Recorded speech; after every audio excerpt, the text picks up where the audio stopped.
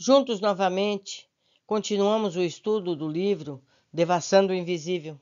São estudos sobre fenômenos e fatos transcendentes observados pela mediunidade sob orientação dos espíritos guias da médium Ivone do Amaral Pereira. Capítulo 8 Sutilezas da Mediunidade, quinta parte. Continuando, da mesma forma, porque os físicos e astrônomos são levados a admitir que as vibrações luminosas percorrem o espaço infinito sem jamais se extinguirem, assim também se poderia admitir a persistência visual de toda a forma de vibrações cósmicas. E como, além de tudo, os estados da matéria e as vicissitudes dos organismos vivos se resumem numa sucessão de vibrações sui generis do éter, conclui-se que eles devem continuar a existir no estado virtual ou potencial, em uma ambiência qualquer, a chamada por Myers nesta meta-etérica, de onde os sensitivos poderiam extraí-los, interpretá-los, graças à relação estabelecida entre eles e a ambiência receptora.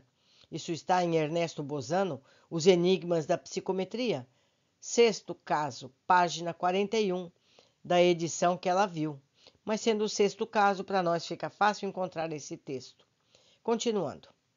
Nenhum espírita ignora que a psicometria é a faculdade que o médium possui de descrever os acontecimentos em torno de uma criatura, particularidades mesmo de sua vida, desde que em contato direto com um objeto ou coisa pertencente à referida pessoa. Essa faculdade estranha e bela, ainda pouco estudada, vai ao extremo de permitir ao médium sentir, descrever as impressões de pequenos animais e vegetais e até da matéria inanimada. Ernesto Bozano, já por nós citados várias vezes, refere-se em sua encantadora obra Os Enigmas da Psicometria à médium inglesa Edith Hawthorne, me perdoem a pronúncia, que, em contato com uma pena branca de um pombo-correio, após longo voo, e um pequeno galho de árvore, descreveu as impressões do pequeno animal durante o mesmo voo, assim como acontecimentos desenrolados no próprio local em que se erguia o pombal, ao passo que igualmente descrevia não somente o que se passaria com a árvore, isto é, o seu desenvolvimento, a florescência, distribuição da seiva, expansão das raízes, etc., mas também as impressões de vermes que viviam no subsolo, onde se erguia a árvore, prenunciando mesmo, com cinco horas de antecipação, o motivo da inquietação dos vermes, ou seja, o desabamento do subsolo onde se achavam, motivado pelas escavações de uma galeria de um minério da região. Tudo rigorosamente estudado e comprovado pelos experimentadores que residiam em Dudley, Inglaterra, onde a médio jamais fora depois que residia em Londres. Outra médio psicômetra, Elizabeth Denton, em contato com a lasca de pedra recolhida de uma região de minério de chumbo no Wisconsin, Estados Unidos, descreve a história da mesma pedra desde que foi arrojada das profundezas de um vulcão durante uma erupção, relatando, tal se fosse a mesma pedra, os sucessos com a pedra ocorridos através dos séculos. Note-se que as médios ignoravam às vezes os objetos que lhes apresentavam para serem psicometrados, pois houve, em certa experiência, o cuidado de ocultá-los, envolvendo em algodão ou retendo-os em embrulhos ou caixas muito atadas. Analisada por vários pesquisadores, essa mediunidade foi constatada real, não obstante os mistérios que envolvem as suas possibilidades. Por que, que esses cientistas não pesquisam isso, não é verdade? Será medo de descobrir a realidade? Não sei. Vamos continuar. Ora, sendo a mediunidade em geral, ao que se observa, uma sensação, uma percepção, participante de determinadas funções da consciência, sendo estas entendidas como potência da alma, que tra traduzem a sua individualidade, acreditamos que todas, as criaturas sejam dotadas dessa faculdade, em grau maior ou menor, dependendo de um estado mais ou menos acentuado de desenvolvimento ou experimentação. Todavia, parece-nos que no estado de desencarnação ou de desprendimento espiritual, esse atributo da nossa individualidade anímica emerge espontaneamente, visto que no que nos é próprio respeita, certos acontecimentos desenrolados durante aquele segundo estado parecem confirmar nossa impressão. Durante o desprendimento parcial, sob a ação de nossos mentores espirituais, temos tido ocasião de, entre aspas, visitar.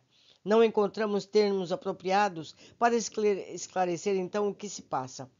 Visitar animais, como o boi, cavalo, cão, gato. Verificamos que o fluido magnético o elemento etéreo em que se acham neles mergulhados, como seres vivos que são, são, são os mesmos que penetram os encarnados, onde esses se agitam. Daí essa correspondência vibratória que faz o ser espiritual da pessoa compreender o ser animal, senti-lo assim como os demais da, eh, seres da natureza.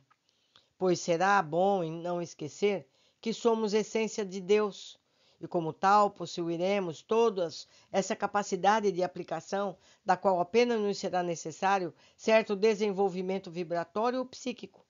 Ora, aqueles animais, por nós sentidos e compreendidos no estado de semidesprendimento espiritual, se afiguram ao nosso entendimento e à nossa razão quase como seres humanos, sentindo nós por eles viva ternura e até profunda compaixão.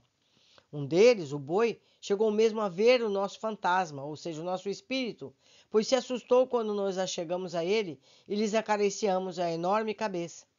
Nossos mestres hindus, que têm predileção pelos estudos da natureza, pelas pesquisas sobre a evolução da alma, levam-nos às vezes a visitar matadouros de gado. E o sofrimento que aí contemplamos envolvendo os pobres animais, as impressões dolorosas, que surpresa, de terror, de angústia, que eles sofrem e que infiltram pelos meandros da nossa própria alma. Não seriam maiores nem mais penosas, talvez, se se tratasse de seres humanos. Quando, quanto a outros animais, aos vegetais, à matéria inanimada, nada adiantaremos, uma vez que não temos lembrança de os ter visitado mas a impressão que guardamos das quatro espécies citadas foi profunda e enternecedora, como se as semelhantes nossos fossem. Desses exames, os menos agradáveis às nossas recordações foi a do gato, cujas vibrações traduziam ao nosso entendimento psíquico sentimentos bem mais inferiores do que os dos outros. Que interessante! Parece que tais estudos transcendentes e de pouca aceitação sobre a Terra, a par da cosmologia, e outros empolgantes profundos como astronomia e arqueologia, fazem parte da iniciação superior a que somos chamados, a que tanto serão permitidos ao espírito desencarnado como ao encarnado durante o sono, dependendo apenas da sua aplicação ao estudo e da vontade de progredir. Daí advindo então as descobertas que de quando em vez surpreendem o nosso globo. Cuidaremos a seguir da psicometria de ambiente, a qual a revelia do sensitivo lhe permite rever, em um ambiente qualquer, as ocorrências ali verificadas muito antes, às vezes mesmo, há séculos. Visitamos certa vez uma, uma amiga de nossa família, cuja residência muito antiga, de aparência senhorial, datava do Segundo Império. Tratava-se de uma chácara já arruinada, localizada em adiantado subúrbio do Rio de Janeiro. Nossa visita, que se estendeu por seis dias consecutivos, necessariamente nos obrigou a pernoitar na dita residência outras tantas noites. Não nos foi possível, porém, conciliar o sono na primeira noite ali passada, enquanto que nas subsequentes Apenas pela madrugada repousávamos ligeiramente, o que nos debilitou, alterando a saúde, e que nos alia como terceira durante a escravatura, nos meados do Segundo Império, nos foi revelado pela própria ambiência onde os fatos ocorreram, fotografando-se as imagens, provavelmente das ondas etéricas, de que se trata o Sr. Meyers. A chácara fora uma fazenda de escravos, Assistimos ali então às cenas típicas da escravatura. Desapareceram as ruas atuais que estruturaram, o bairro, a paisagem que compõe o panorama do momento, as nossas percepções espirituais. Estávamos em vigília. O que víamos não era como um sonho, nem durante os transportes, mas em nosso estado natural, embora estando já recolhida.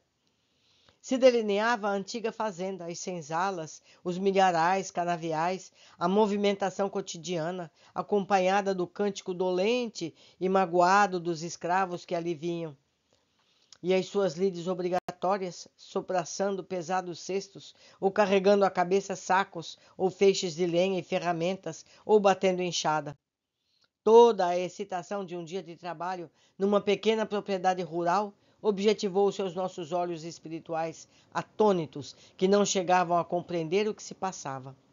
No pequeno pátio lateral, para onde deitavam janelas e portas do aposento que ocupávamos, separado do terreiro fronteiro por um muro, típica obra de cantaria que denunciava o labor do braço escravo, vimos uma escrava trajada de saia preta, camisa de algodão cru, lenço branco à cabeça, mexendo um enorme colher de pau em um grande tacho de cobre, cujo conteúdo refervia sobre um fogão de pedras e tijolos do próprio chão, parecendo tratar-se de sabão de cinza, fabricado em casa, o que era comum naquela época e, até há bem pouco tempo, a certas cidades do estado de Minas Gerais. Outra escrava, no mesmo local, em plano aéreo pouco mais elevado, surrava com uma palmatória um moleque, provavelmente seu filho, regulando oito a dez anos de idade, o qual, de bruços sobre seus joelhos, esperneava gritando sem parar. Vimos um velho escravo atado a um pelourinho pelos pulsos para o suplício do chicote, o qual chorava e gemia angustiadamente, invocando o socorro divino. Meu Deus do céu, meu anjo da guarda, tenha dó de mim. Enquanto se repetiam os estalidos do chicote acionado pelo capataz.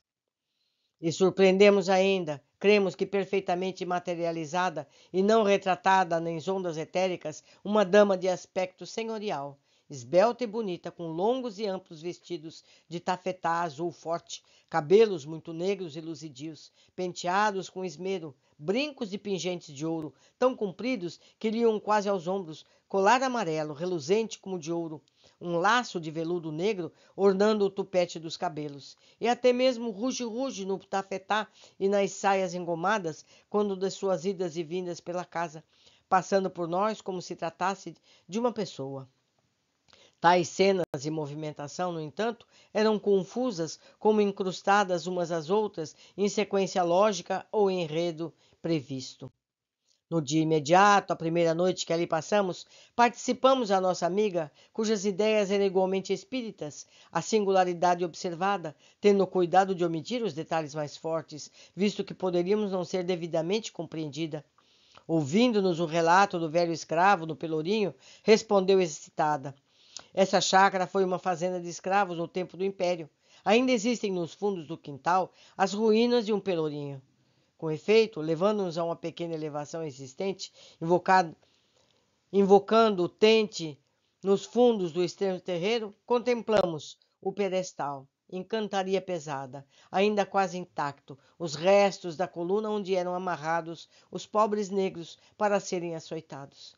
Diante dessas ruínas, nossa alma chorou enternecida, elevando uma prece fraterna em intenção do próprio velho, cujo drama entrevíamos na véspera narrado pelas próprias vibrações locais e também pelo seu algoz, que certamente, através de uma reencarnação reparadora, andará pelas ruas do próprio Rio de Janeiro a exercer o bem em desagravo das odiosas atitudes do passado. Hoje, quase 20 anos após essa visita, no mesmo local, ergue-se belo edifício de apartamentos residenciais. Detalhe sugestivo e singular Nessa mesma residência, algum tempo depois, o espírito do Dr. Adolfo Bezerra de Menezes forneceu à nossa visão espiritual quadros expositivos do seu romance, mais tarde ditado através de nossa psicografia. A tragédia de Santa Maria, em cujas páginas existem cenas do tempo da escravatura no Brasil. É, meus amigos, tudo o que acontece no mundo está gravado indelével no, no tecido astral. Tudo, tudo, tudo. E médiums como a Ivone e outras tantas que existem podem ver tudo isso. E saibam que as pessoas envolvidas nesses dramas guardam essas lembranças. Tudo isso é muito interessante, tudo isso nos traz conhecimento. Por hoje ficamos por aqui. Aguardo vocês todos na sequência do nosso estudo.